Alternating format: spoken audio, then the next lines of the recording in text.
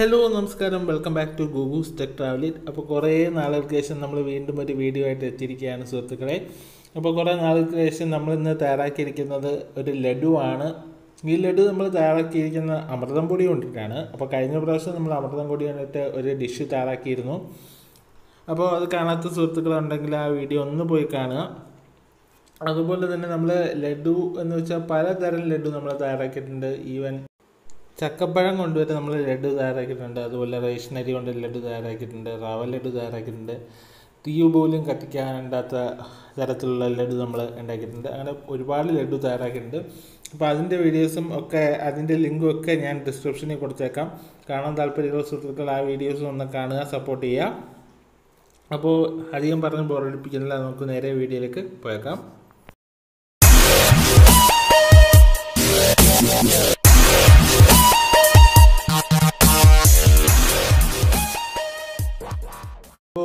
ലഡു തയ്യാറാക്കാനായിട്ട് ആദ്യം നമ്മൾ കുറച്ച് അരിയാണ് എടുത്തിട്ടുള്ളത്. നിങ്ങൾക്ക് ഏത് തരത്തിലുള്ള അരി വേണമെങ്കിലും എടുക്കാം. ഞാനിവിടെ എടുത്തിരിക്കുന്ന റേഷൻ അരിയാണ്. അത് നമുക്ക് ഒന്ന് കുതിർത്ത് കഴുകി വൃത്തിയാക്കി എടുക്കുക അതിനുശേഷം നമുക്ക് മിക്സിയിലിട്ട് ചെറുതായിട്ടൊന്ന് പൊടിച്ചെടുക്കാം. അപ്പോൾ നമുക്ക് പെട്ടെന്ന് ഇത് വറുത്തെടുക്കാനായിട്ട് സാധിക്കും. നമുക്ക് വറുക്കാൻ വേണ്ടിയിട്ടാണ്. അപ്പോൾ ഇത് ഉണങ്ങിയില്ലെങ്കിലും വലിയ വിഷയമൊന്നുമില്ല. നമുക്ക് വറുത്തെടുക്കുമ്പോൾ അത് ഉണങ്ങി കിട്ടിക്കോളും. അപ്പോൾ ഒന്ന് പൊടിച്ചെടുക്കുന്നത് വളരെ നല്ലതാണ്. എളുപ്പത്തിൽ തന്നെ നമുക്ക് വറുത്തെടുക്കാനായിട്ട് സാധിക്കും. കുറച്ച് ജോലി കുറഞ്ഞു കിട്ടും അവിടെ. അതുകൊണ്ടിട്ടാണ് നമ്മളതൊന്ന് പൊടിച്ചെടുക്കുന്നത്. അപ്പോൾ ആദ്യം നമ്മൾ ചെറുതായിട്ടൊന്ന് നുറുക്കിയെടുത്തിട്ടേ ഉള്ളൂ. അത് വറുത്തതിന് ശേഷം നമുക്ക് നന്നായിട്ട് ഫൈനായിട്ട് പൊടിച്ചെടുക്കാം. അപ്പോൾ നമുക്ക് ഒരു പാനിൽ കുറച്ച് നെയ്യ് ഒഴിച്ചതിന് ശേഷം നമ്മുടെ അരി അതിലേക്കിട്ട് ഒന്ന് വറുത്തെടുക്കാം.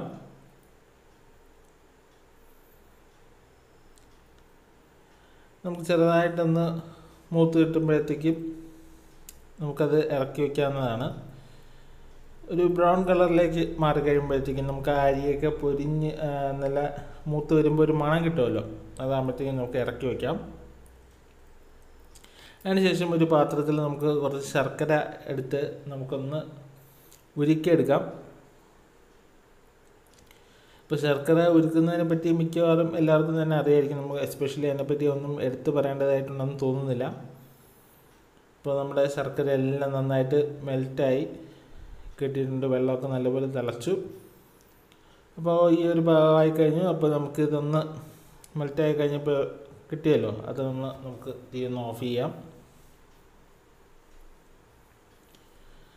അതിനുശേഷം നമുക്ക് കുറച്ച് തേങ്ങ ഒന്ന് മൂപ്പിച്ചെടുക്കാം.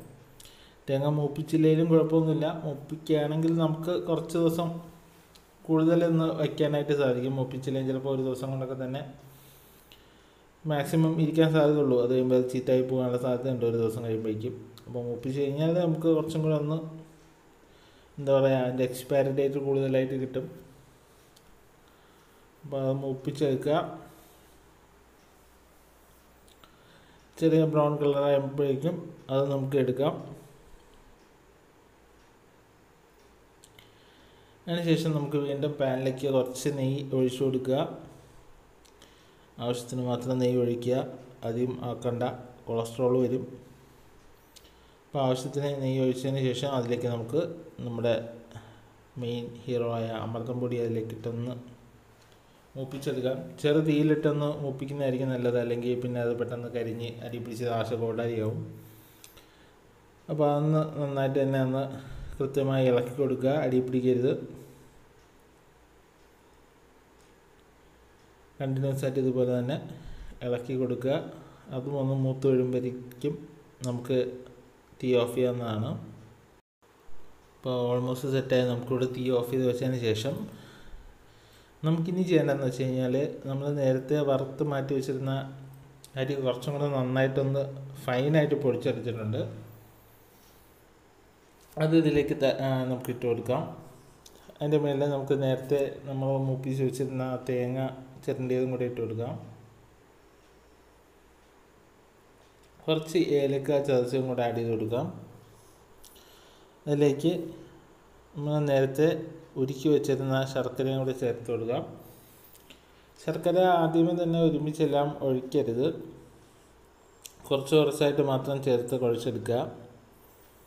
നമുക്ക് കുഴയ്ക്കാൻ പരുവത്തിന് വേണം ശർക്കര പാനി ചേർത്ത് കൊടുക്കാനായിട്ട്. ഒത്തിരി ചേർത്ത് കഴിഞ്ഞാൽ ചിലപ്പം ആദ്യമേ തന്നെ അത് അങ്ങ് ലൂസായി പോവും. അപ്പോൾ ചെറുതായിട്ട് ചേർത്ത് ആ ബോൾസൊക്കെ ആയിട്ട് കിടക്കുന്നതൊക്കെ ഒന്ന് പൊട്ടിച്ച് ഉടച്ചെടുക്കുക. നന്നായിട്ട് മിക്സ് ചെയ്ത് എടുക്കുക.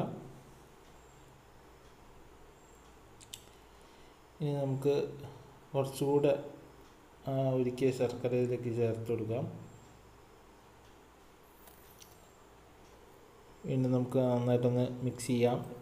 ഇത് നമ്മൾ ചെറിയ ചൂടോടുകൂടി തന്നെ ഇതൊക്കെ ചെയ്യണം എന്നാൽ മാത്രമേ നമുക്ക് നല്ല പെർഫെക്റ്റ് ആയിട്ട് കിട്ടുകയുള്ളൂ. കൈ പൊള്ളാത്ത ഒരു ചെറിയ ചൂടുണ്ടല്ലോ ആ ഒരു ഇതിലേക്ക് വേണം ഇത് ചെയ്യാനായിട്ട്.